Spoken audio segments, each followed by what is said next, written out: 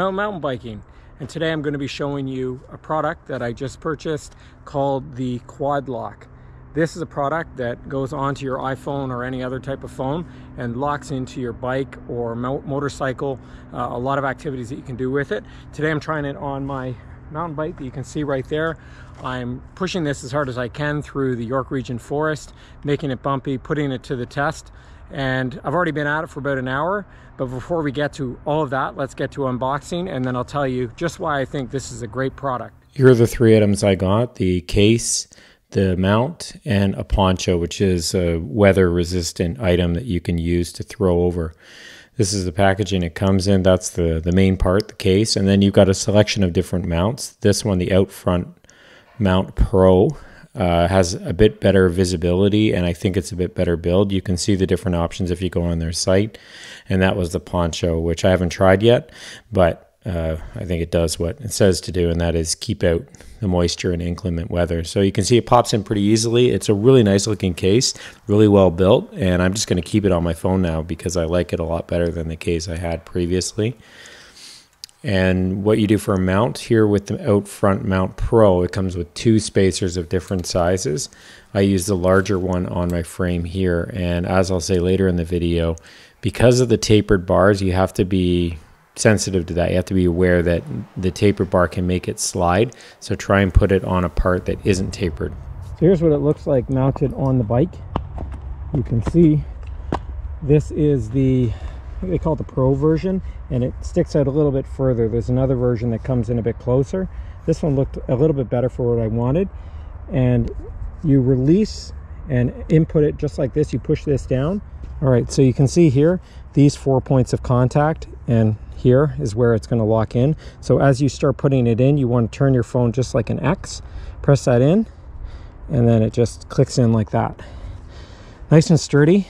If you can see underneath, this is what it looks like locked in. And I've been riding with this for about an hour now and it's been really really good it hasn't come out at all the only criticism i have and this isn't quadlock's fault more my own is that you can see on this particular bike I have tapered bars. And so I put it with a larger I think it's a 24 millimeter down here. And as I started to ride I, it started to slide.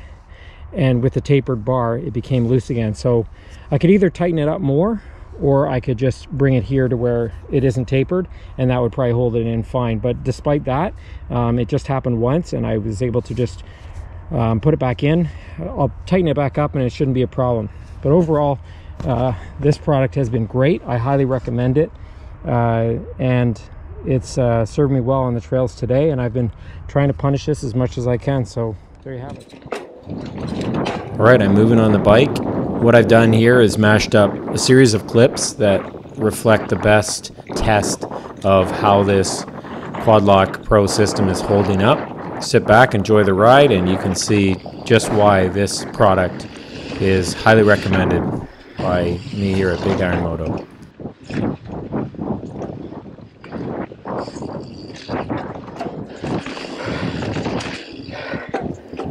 Since this is primarily a dirt biking channel, I thought it would be important to point out that uh, there's no reason why this wouldn't hold up just as well on a dirt bike. I was pushing this pretty hard through these trails and hitting jumps and obviously you put your phone at risk riding like this but i know a lot of people already do that with their phone uh, especially if they're using it for gps and this year for those of you who are members of the ontario federation of trail riders there is going to be uh, an app out that will map all the trails the legal trails in ontario that this is something that would be very helpful for. So there's, I, I, may very well end up putting this on my my bars for some rides.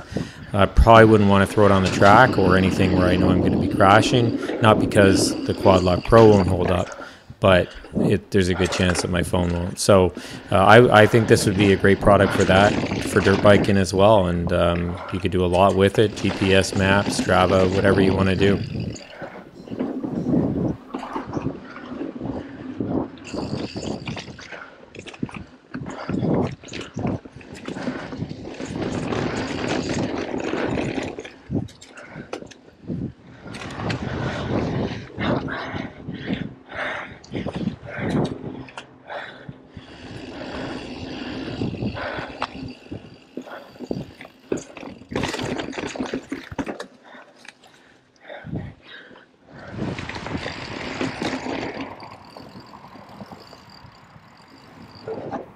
So there it is, the Quad Lock Pro reviewed. Please like and subscribe. Thanks for watching.